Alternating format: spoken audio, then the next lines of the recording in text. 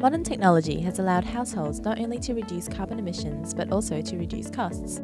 The smart meter installed in your home is a new technology that allows energy consumption to be recorded more accurately and in real time.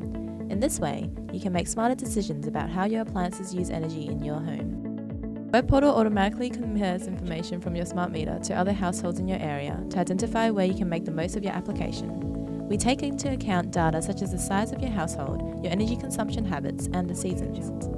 There are three main ways that we can help you control and budget your energy usage. 1. We can summarize your energy usage from a yearly view up to a live feed where you can see how much energy you've used up to that moment. This way, you can keep informed on your energy usage and pinpoint the times where your energy consumption is higher than usual. Or we will do that work for you.